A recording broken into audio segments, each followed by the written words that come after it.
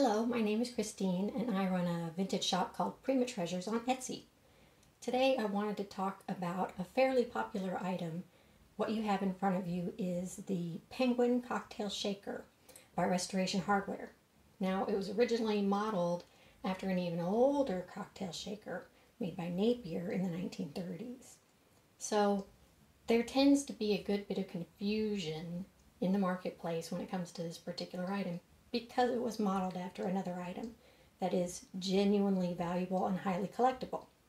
So the reason I wanted to talk about it is because it can be easy to look at different items for sale and think you're getting one thing, but you're actually getting another. So I wanted to use this as an example of ways to avoid paying a premium for something that's not what you think it is. This is a good example, as I said, because it's modeled after an older and a Napier cocktail shaker would probably sell for four figures. This one you can have for under a hundred, depending on where you find it and how much of a chance you're willing to take. So one of the things I wanted to point out is that this particular shaker, I think it's easier if you look at things that you know are fake because they give you reference points to things that are the real deal. So in this particular case, one of the things that you would want to look for is his beak has a little knob that you unscrew to pour the mixed drinks out. And that is different from the Napier version where the whole beak flips up, I think. I'm not sure exactly. It flips up, it flips down. Uh, the whole beak opens up to expose the spout. So in this case, you can easily tell by looking at this little knob on the end of the beak. That is not Napier because Napier wouldn't have this little knob on the end. Another thing that people tell you to look for is the wings of the penguin are a separate piece that's applied to the body of the shaker, whereas some reproduction shakers will just like have little etched design carved out of the main body to depict the wing, but it won't actually be a separate piece like this. Now, another thing I wanted to point out, because I think this is usually easy to check, is that you can look at the bottom of that shaker and see that says Restoration Hardware right on it. So anytime you look at photos of a shaker for sale like this, and they don't put a photo of the bottom, you should ask for that. You should ask to see the bottom.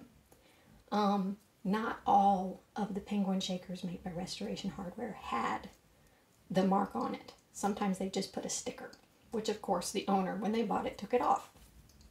So if there's no marking, that also tells you something. It means that it's probably the older version of this shaker that just had a sticker. Um, a real Napier shaker is going to have either the name Napier on the bottom or the patent number of the shaker because they have a design patent on this design right here, the penguin design. So if you don't see the Napier name or a patent number, it's also not Napier.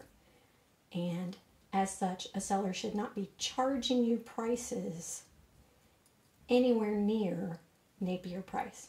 And when I go online and I look, I see people asking three, five, eight hundred dollars for shakers like this, and that's just excessive for what you're actually getting. That this particular shaker was made around the late 1990s. It's definitely not nearing 100 years old like an original Napier would be. And as I said, if you had a real Napier shaker on your hands, you'd probably be paying four figures for it, not three. So that's a few of the things that you can look for and keep in mind when you're shopping. And the main point here is, is that know what you're getting. Make an effort to rule out that it's something high end when it isn't. And if you just like this look and you're not interested in, you know, having an antique cocktail shaker that's highly valuable, you know, pay what you're willing to pay. Don't pay a premium. So I hope that helps you if this is the type of thing that you're looking at and you're interested in, but you don't feel comfortable making a decision. At the end of the day, I think you should pay what you're willing to spend for an item that you feel good about. And so if something the price of something is beyond what you're comfortable spending, don't buy that. You can go to eBay or Etsy and there are plenty of other sellers who will sell you this particular item, the restoration hardware one, that is vintage, but it's not antique.